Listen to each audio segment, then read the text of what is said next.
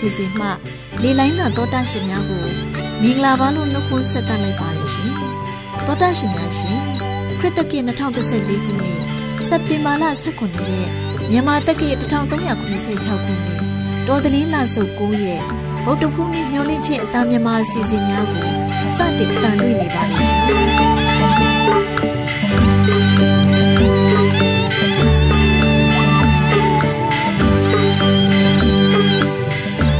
တော်ရှင်များခင်ဗျာ AWR မျိုးလင့်ချင်းအတန်မြန်မာအစီအစဉ်ကိုနနက်6နာရီခွဲမှ9နာရီထိ31မီတာ kHz 9333ည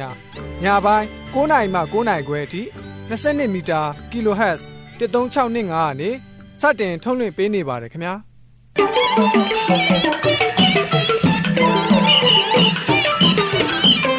တောတာရှင်များရှင်ဒီကနေ့ဗုဒ္ဓဟူးနေ့မှာထုတ်လွှင့်ပေးမယ့်အစီအစဉ်တွေကတော့ယနေ့အတွက်မင်္ဂလာမိုး မှတ်သားဖွယ်ရတမချန်းစာပုံပြင်အမေးရှိရင်အဖြေရှိတယ်ဆိုတဲ့အကြောင်းတွေဖြစ်ပါလိမ့်ရှင်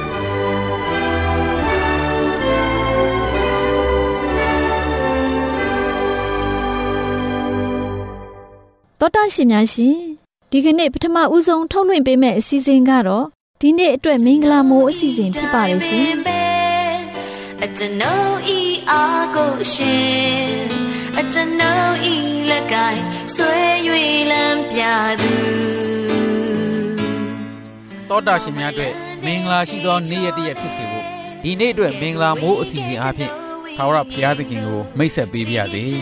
ဒီကနေ့တမန်ကျမ်းစာအဖြစ်ခွန်အားယူနှလုံးသွင်းဖို့ရန်အတွက်ရာဇဝင်ဒုတိယဆောင်အခန်းကြီး20အငယ်48ကနေကောက်နှုတ်ဖော်ပြပါမယ်။ထာဝရဘုရားသည်အသက်ရှင်တော်မူသည်ဖြစ်၍ငါဤကြောက်၌မင်္ဂလာရှိပါစေသတည်း။ငါကိုကယ်တင်သောကြောက်ဤဘုရားသခင်၌ချီးမြှောက်ခြင်းရှိပါစေသတည်း။တောတာရှင်များ ကိုစိတ်နှဖျားကျမ်းမာချမ်းသာတော်မူကြပါစေ။ငါကိုဘသူကနှိမ်နာလဲလို့အောက်ခြေလွတ်တဲ့ကြွားဝါတဲ့အတန်မျိုးဟာအေရုံပြည်သားတို့မကြာခဏပြောတဲ့အတန်မျိုးပါသူတို့ဟာကြောက်ကြားမှနေ၍မြင့်သောအရက်ကိုခိုလုံသောသူများဖြစ်တယ်လို့အော်ဘရိအနာဂတ်ကျမ်းမှာဖော်ပြထားပါတယ်ဒီအေရုံပြည်သားတွေဟာကြောက်ကြားထဲမှာနေပြီးတော့မာနထောင်လို့ကိုကိုကိုလုံခြုံပြီလို့ထင်ရတဲ့သူများဖြစ်ပါတယ်ကျမ်းစာအဆိုအရအေဒုံပြည်သားယာကုပ်ရဲ့အကိုအေးသောရဲ့ အမျိုးအနွယ်စုများဖြစ်ကြပါတယ်။ဒါကြောင့်ဣသရေလလူမျိုးတွေနဲ့ယာသက်ပံရန်သူများဖြစ်နေကြပါတယ်။သူတို့အမျိုးအနွယ်နှစ်ခုဟာတားဦးအရာကြောင့်ရန်သူများဖြစ်နေကြတာပါ။ဒီရန်စကိုလည်းပဲနောင်လာမဲ့မျိုးဆက်တစ်တွေကဆက်လက်ခံနေကြဆဲဖြစ်ပါတယ်။သူတို့ကအရှုံးမရှိပါဘူး။အမြဲတမ်းတစ်ဖွဲ့နှစ်ဖွဲ့ရန်ဆောင်နေကြပါတယ်။အေဒုံပြည်သားတွေရဲ့ ရုံးဆိုင်ရာဌာနကတော့ရှေလာလို့ခေါ်တဲ့မြင့်မားမဆောက်တဲ့တောင်စွန်းတောင်တန်းကြားထဲမှာရှိကြပါတယ်သောရရှင်တို့ခင်ဗျာထာဝရဘုရားသခင်သာစစ်မှန်တဲ့ငါတို့ကိုကယ်တင်သောကြောက်ဖြစ်တော်မူတယ်လို့ဖော်ပြပါတယ်သူတို့ဣသရေလတွေကမတိုက်ပါဘူးတိုင်းတစ်ပါးကခြေမုံတိုက်ခိုက်တာကိုယခုမှကဘာကြီးပေါ်မှာလုံးဝပျောက်ကွယ်နေပါပြီဒါကျမ်းစာဖော်ပြချက်ရထာဝရဘုရားသခင်ဟာအသက်ရှင်တော်မူတဲ့ဘုရားဖြစ်လို့ငါဤကြောက်၌မင်္ဂလာရှိစေတည်း ငါကိုကယ်တင်သောကြောက်ကိုဖျားသခင်၌ချီးမြှောက်ခြင်းရှိပါစေတည်းဆက်လက်ပြီးတော့ကောရိန္သုဩဝါဒစာပထမဆောင်အခန်းကြီး1အငယ်3မှာတော့ဝါကြွားသောသူမြည်ဒီကထာဝရဘုရား၌သာဝါကြွားစေတောတာရှင်တို့ခင်ဗျာအသက်ရှင်သောကြောက်ကလွဲလို့ကျွန်တော်တို့အခြားသောနေရာမှာခိုလုံစရာမရှိပါဘူး ကိုတော်ဖျားသာလင်ကျွန်တော်ရဲ့ကယ်တင်သောကြောက်ဖြစ်တယ်ကိုတော်ဟာအပြစ်ကနေဖျားနာနေတဲ့အသက်ဝိညာဉ်တွေအတွက်စိတ်ချနားခိုစရာနေရာလည်းဖြစ်ပါတယ်ခရစ်တော်မပေါ်မီယာစုများစွာကိုတော်ဟာဤဒေတာလူမျိုးတွေရဲ့ကယ်တင်ညာကြောက်လို့ဖော်ပြခဲ့ပါတယ်ဆာလံဆရာကြီးကလည်းကျွန်ုပ်၏ရွေးနှုတ်ရှင်ကျွန်ုပ်၏အစွမ်းတတ္တိကြောက်ကျွန်ုပ်ထက်မြင့်လာသောကြောက်နေထိုင်ရာကြောက်ကျွန်ုပ်၏နှလုံးသားခိုလုံရာကြောက်ရဲတဲ့ကြောက်လို့အမျိုးမျိုးတင်စားခေါ်ဝေါ်ခဲ့ပါတယ်တောတာရှင်တို့ခင်ဗျာ ကျွန်တော်တို့လုံခြုံနိုင်တဲ့နေရာကကြောက်ကဲ့သို့ခိုင်ခန့်မြဲမြံသောသခင်ခွတ်တော်စီမှာခိုလုံမှသာကျွန်တော်လုံခြုံနိုင်မှာဖြစ်ပါတယ်တောတာရှင်များခင်ဗျာတောတာရှင်တို့ရဲ့အေးချမ်းတာယာမှု လုံခြုံမှုကိုပေးနိုင်တဲ့နေရာကတော့သခင်ယေရှုခရစ်တော်ကိုယုံကြည်ခိုလုံမှသာလျှင်ဒီပျော်ရွှင်ငြိမ်သက်ခြင်းအေးချမ်းတာယာခြင်းကိုရရှိနိုင်မှာပါဒါကြောင့်တောတာရှင်တို့အနေနဲ့သခင်ယေရှုခရစ်ကိုယုံကြည်ပါသခင်ယေရှုခရစ်ကိုအားကိုးပါ သခင်ယေရှုခရစ်ကတောတာရှင်ရဲ့ခိုလုံရာကြောက်ကြီးတစ်ဖွဲဖြစ်နေပါတယ်မိတ်ဆွေတို့သခင်သည်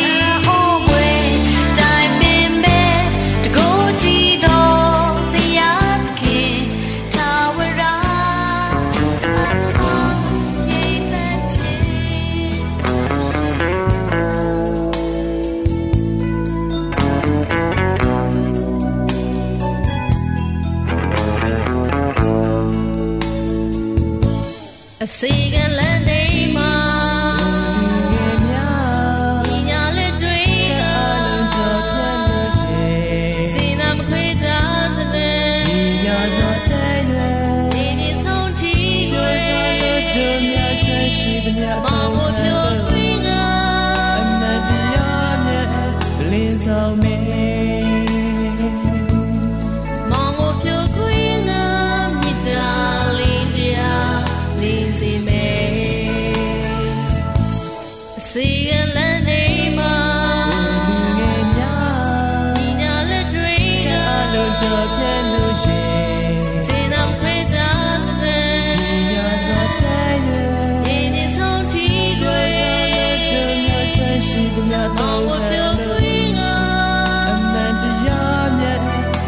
sao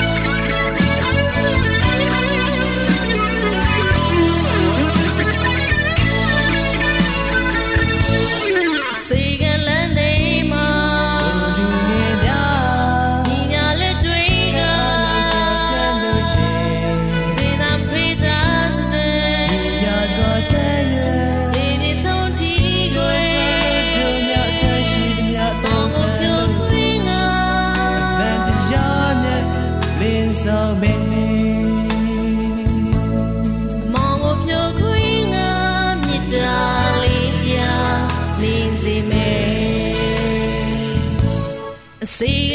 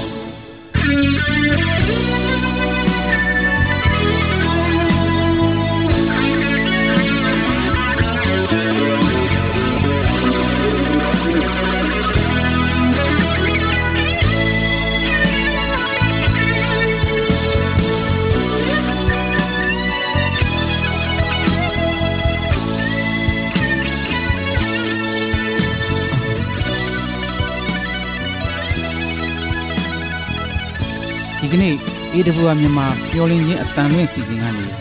ထုတ်လွှင့်ခဲ့တဲ့အစီအစဉ်မှာဓမ္မတေးဂုံတော်ချီးမွမ်းခြင်းတခြင်းများကိုသခင်ယေရှုခရစ်နာမတော်အဖင်အမှုတော်အတွက်ဆက်ကပ်တီးဆိုရေးဆက်တီကုန်းတိခတ်ပေးကြတဲ့အဆိုပညာရှင်များတေးရေးဆရာများ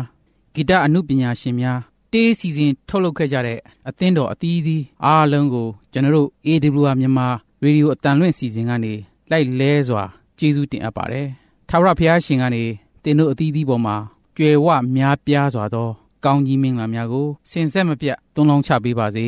ရှေ့ဆက်လက်ပြီးတော့လဲအမှုတော်မြတ်မှာပါဝင်ဆက်ကနိုင်ကြပါစေလို့ကျွန်တော်တို့ AWR မြန်မာအတန်လွင့်အစီအစဉ်ကနေမှတ်တမ်းတင်ဂုဏ်ပြုအပ်ပါတယ်ခင်ဗျာ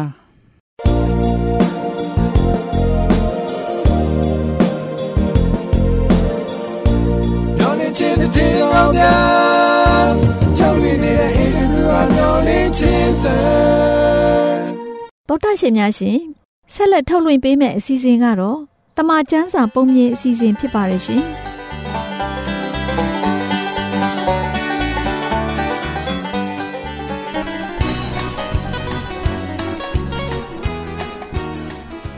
မျောလင်းခြင်းတန်မြမပိုင်းအစီအစဉ်ကိုဆက်လက်တင်လွှင့်နေပါတယ်ခင်ဗျာသောရရှင်ကလေးတို့ရေကလေးတို့ဝิญဉ်ခွန်အားတိုးပွားပြီး အသည့်အလိမ်မှာဉာဏ်ပညာကျွယ်ဝဖို့တမန်ကျမ်းစာပုံမြင်အားဖြင့်ဆုံးမတွင်တင်ပုံကိုနာတော်သားဆင်ရမယ့်အချိန်ရောက်လာပါပြီ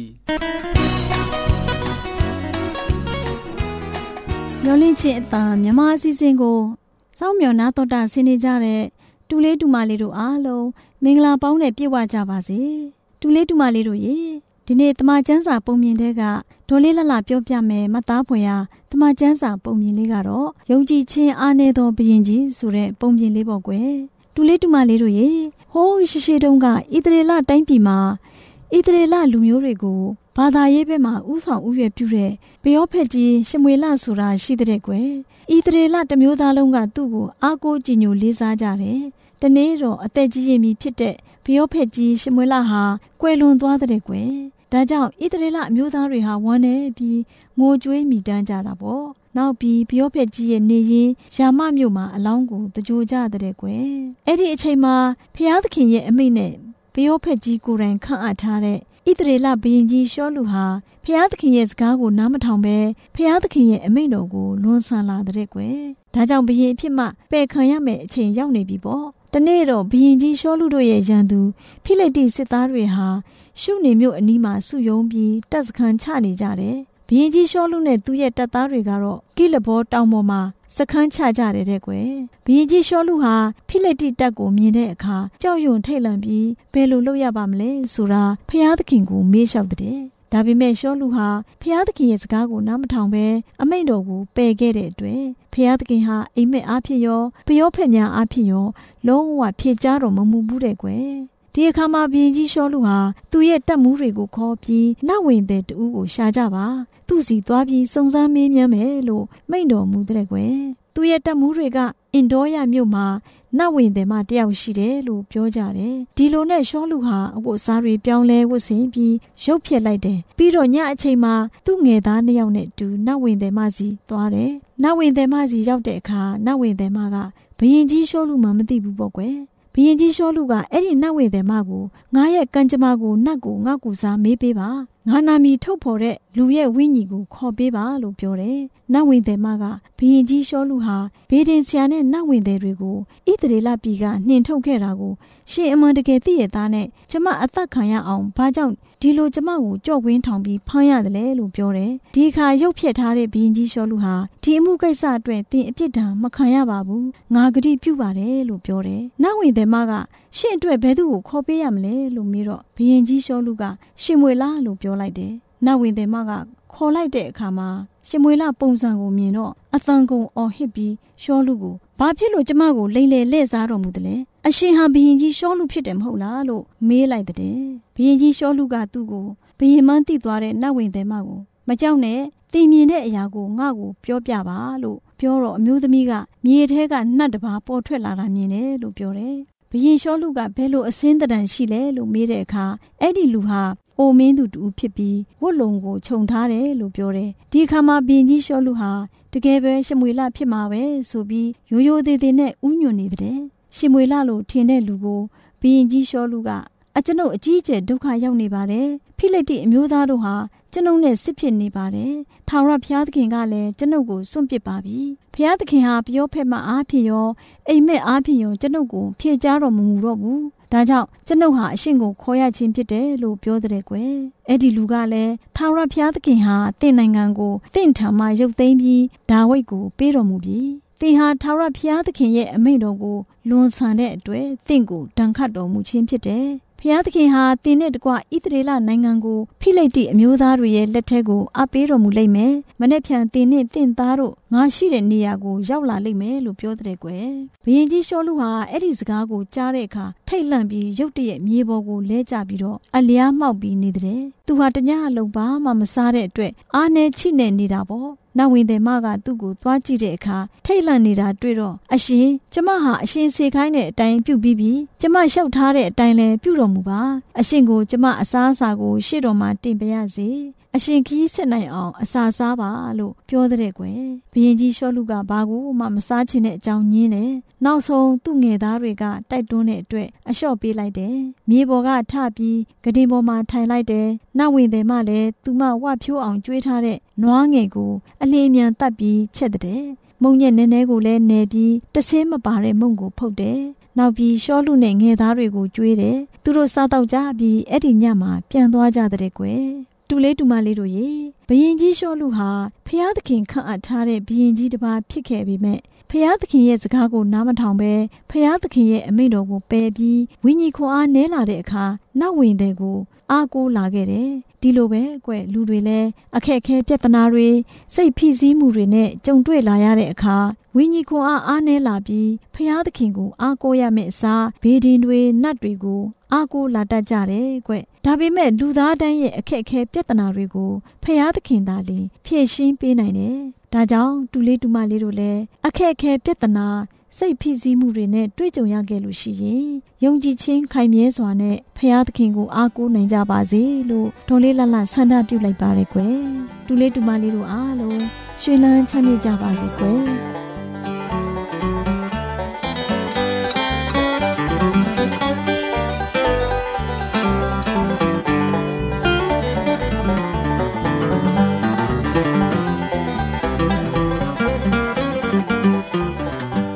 AWR မျိုးလင့်ချင်းအတန်တော်တာရှင်များခင်ဗျာမျိုးလင့်ချင်းအတန်ဌာနကိုဖုန်းနဲ့ဆက်သွယ်လိုပါက391 3ခု158လိုင်းခွဲနံပါတ်119တို့ဆက်သွယ်နိုင်ပါတယ်ခင်ဗျာသောတာရှင်များရှင်ခရစ်တော်ကြွလာခြင်းကိုမျှော်လင့်သောတတ္တမနေ့အသင်းတော်မှရန်ကုန်မြို့ကြီးနေသောတာရှင်များအတွေ့ကန္တာအသီးသီးမှအခမဲ့ကျမ်းမာရေးစစ်ဆေးပေးတာတွေ မိတ္တဟာယဖွဲ့ကူညီမဆတာတွေမေတ္တာနဲ့ဆုတောင်းပေးတာတွေလူငယ်လူရွယ်များကဓမ္မတေးဂီတအစီအစဉ်နဲ့အသင်းတော်တွေကိုတွားရောက်မိတ္တဟာယဖွဲ့မှုတွေဆောင်ရွက်နေပါတယ်ရှင်။တော်တာရှင်များအတွက်ဝမ်းမြောက်ဖွယ်သတင်းကောင်းကြားနိုင်ရန်အစီအစဉ်ကို2014ခုနှစ်အောက်တိုဘာလ9ရက်မှ18ရက်အထိညစဉ်6နိုင်မှ9နိုင်အထိအမှတ်68ဦးဝိဇာရလမ်းဒဂုံမြို့နယ်ရန်ကုန်မြို့ရှိရန်ကုန်ဘိုအသင်းတော်မှာပြုလုပ်ကျင်းပသွားမှာဖြစ်တဲ့အတွက် ကြွရောက်ကြပါရန်မေတ္တာဖြင့်ဖိတ်ခေါ်အပ်ပါတယ်ခင်ဗျာတော်တာရှင်များရှင်ဆက်လက်ထုတ်လွှင့်ပေးမယ့်အစီအစဉ်ကတော့အမေးရှိရင်အဖြေရှိတယ်ဆိုတဲ့အစီအစဉ်ဖြစ်ပါတယ်ရှင်မေးစရာအော်မေးခွန်းလားဒီမေးပါဒီမေးခွန်းရဲ့အတွက်ဖြေစရာအဖြေရှိတယ်ရှိတယ်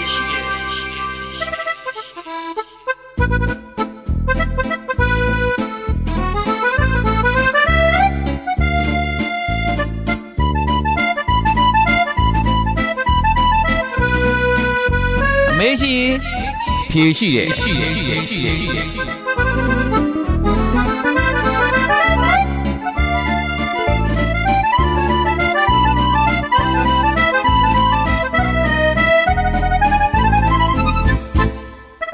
တော်ရရှိမြခင်ဗျာအမေးရှင်အဖြေရှိတဲ့ကဏ္ဍကနေတော်ရရှင်တို့ထံကလာတဲ့မိကွန်းများကိုအလင်းအသင့်သလိုဖြေကြားပေးတဲ့ကဏ္ဍဖြစ်ပါတယ် ဒီကဏ္ဍမှာတော်ရရှင်တို့သိရှိမင်းမြန်းလို့တဲ့တမာကျမ်းစာထဲမှာအကြောင်းအရာများကိုမင်းမြန်းမှုရတဲ့လိုက်လဲစွာတူတူအပ်ပါတယ်အမေးရှင်အဖြေရှိတဲ့ကဏ္ဍကနေတော်ရရှင်များကိုမင်္ဂလာပါလို့နှုတ်ခွန်းဆက်တာပါတယ်ဒီကဏ္ဍကိုကျွန်တော်လှမျိုးဝင်းကနေစီစဉ်တင်ဆက်တာဖြစ်ပါတယ်ဒီအစီအစဉ်မှာမေကုံးများကိုကူညီဖြေကြားပေးမဲ့ပုံကောတော့ဆရာဦးနွယ်ဦးဖြစ်ပါတယ်ခင်ဗျာဆရာဦးနွယ်ဦးမင်္ဂလာပါခင်ဗျာ မင်္ဂလာပါဆရာကြီးဆရာဒီနေ့တည်တဲ့တီးထိုက်တဲ့ကြမ်းကြက်ကလေးတစ်ခုကိုကျွန်တော်ကောက်နှုတ်ပြီးတော့ဆရာကိုမေကုံးလေးတစ်ခုမေးချင်ပါတယ်တောလျာကျမ်းခန်းကြီး15အငယ်32ကဲ35ကိုကျွန်တော်ဖတ်ချင်ပါတယ်ဤဒီလာအမျိုးတို့သည်တော၌ရှိကြသောအခါတနေ့သောဥပုံနေ့၌ထင်းခွေသောသူတစ်ယောက်ကိုတွေ့လေ၏အငယ်35မှာတော့ထာဝရဘုရားကလည်း ထိုသူသည်အသေးတက်ခြင်းကိုအမှန်ခံရမည်ပိဋကအပေါင်းတို့သည်တပ်ပြင်မှသူ့ကိုကြောက်ခဲနှင့်ပြစ်ကြရမည်ဟုမောရှေအားမိန့်တော်မူ၏တဲ့ဒါပညတ်တော်လွန်ကျူးတယ်ဥပုံနေကိုလွန်ကျူးတယ်ဆိုရင်ကြောက်ခဲနဲ့ပေါက်တတ်ရမယ်လို့ပညတ်ထားတဲ့အချက်ပါဒါသူတို့ခေတ်တုန်းကအခုခေတ်မှာကျတော့ကြောက်ခဲနဲ့ပေါက်တတ်တယ်ဆိုတဲ့ဥပဒေပြစ်မှုတစ်ခုကျိုးလွန်လာရင်ဒီလိုမရှိတော့ပါဘူး ဆိုတော့ဒီပြစ်ဒဏ်ကိုပယ်ဖျက်လိုက်တဲ့အတွက်ကြောင့်ဒီဥပဒေကောရှိပါအောင်မလားဆရာရဲ့ဆရာဒီမေကွန်းလေးကိုတစ်စိတ်လောက်ဖြည့်ပေးပါအောင်ဆရာကြီးဟုတ်ကဲ့ဆရာ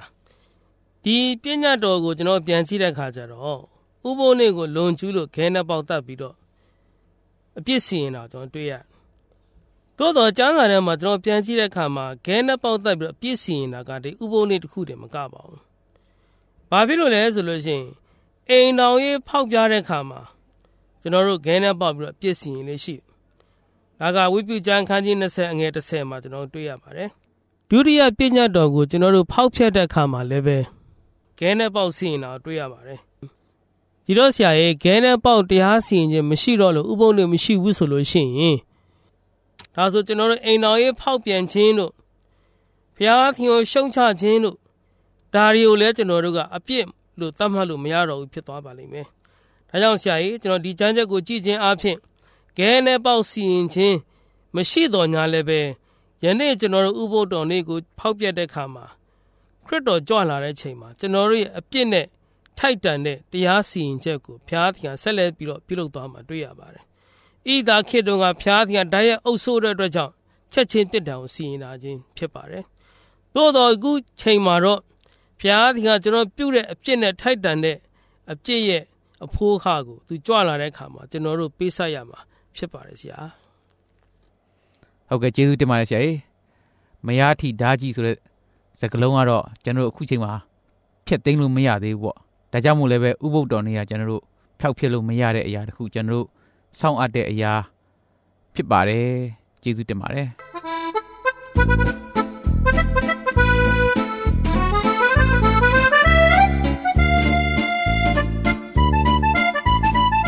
ဒီကဏ္ဍကနေသောတာရှင်တို့ရဲ့မေကွန်များကိုလည်းစောင့်ကြိုလျက်ရှိပါတယ်ခင်ဗျာမေကွန်များမေးလို့ရင် AWR မျော်လင့်ခြင်းအတန်စာရိတ်တစ်တာမှ989ဗဟိုစာရိုက်ကြီးရန်ကုန်မြို့သို့ရေးသားပေးပို့နိုင်ပါတယ်ခင်ဗျာ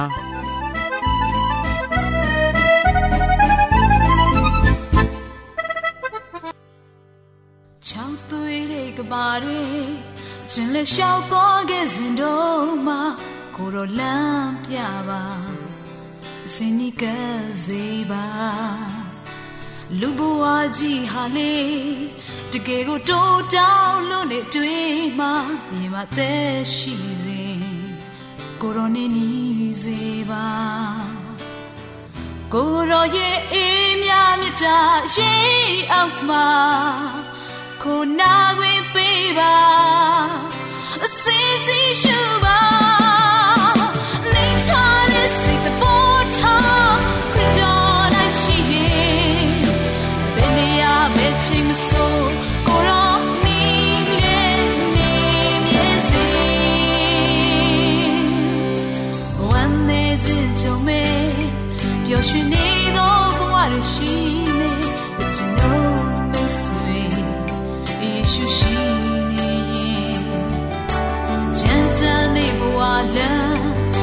ဘယ်လိုစုခင်လမ်းကိုရှော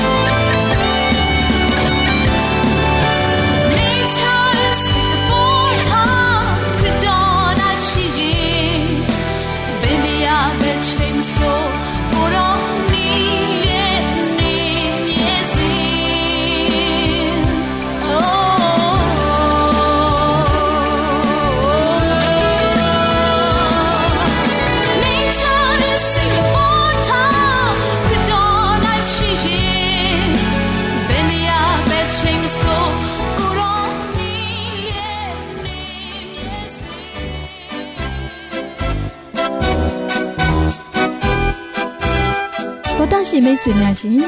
AWR မျိုးလင့်ချင်းအတ္တမအကြောင်းအရာတွေကိုပုံမသိရှိလိုပါက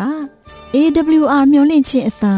စာရိုက်တစ်တာအမှ681သို့မဟုတ်989ဗဟိုစာရိုက်ကြီးရန်ကုန်မြို့သို့ဆက်သွယ်နိုင်ပါတယ်ရှင်။အီးမေးလ်နဲ့ဆက်သွယ်ခြင်းရင် voh@awrmyanmar.org ဖြစ်ပါတယ်။အင်တာနက်ကနေရေဒီယိုအသံလွှင့်အစီအစဉ်များကိုနားတော်တာဆင်လိုပါက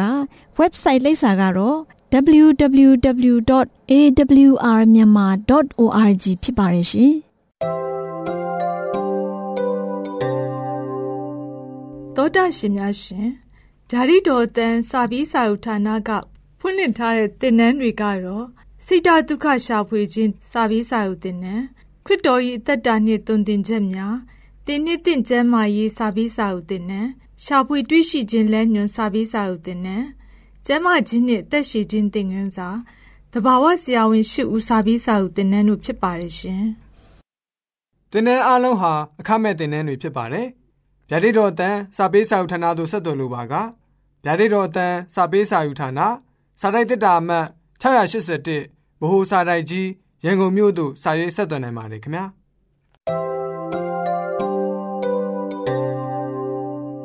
တော်တာရှင်များခင်ဗျာ AWR မျိုးလင့်ချင်းအတန်မြန်မာအစီအစဉ်ကိုနက်နက်6နိုင်ခွဲမှ9နိုင်အထိ